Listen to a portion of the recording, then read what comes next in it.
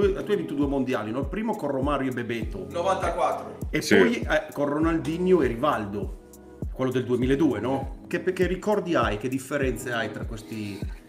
Direi che il attacchi? 94 è stato importantissimo, è- è stato come se fosse la mia università, no? Purtroppo non ho fatto neanche un minuto di, di partita, però negli allenamenti, a vedere gli altri giocatori, vedere Romario, Bebeto, come, come facevano le cose, come si allenavano, come si portavano fuori campo, quello è stato troppo importante per me, perché loro due erano i due migliori attaccanti al mondo allora, erano delle ispirazioni per me. Loro mi hanno insegnato tanto, anche se è solo lì che io guardavo. Cioè, Romario era più figlio di che con i giovani con i giovani mandava a prendere i caffè pulire, le sue scarpe. Mamma mia ragazzi. Mamma mia che Ne- nel, nel 95 o non so o 97 ero già pallone d'oro non so ero già un giocatore importante. E, e siamo andati a Coppa America e mi fa da pomeriggio guarda che stasera usciamo eravamo in ritiro con la nazionale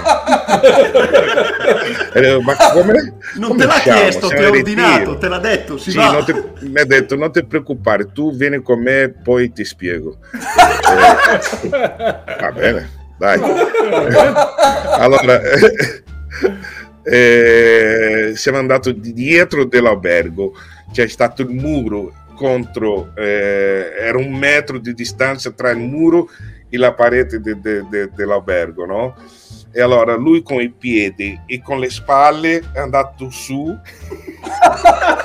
Ho capito.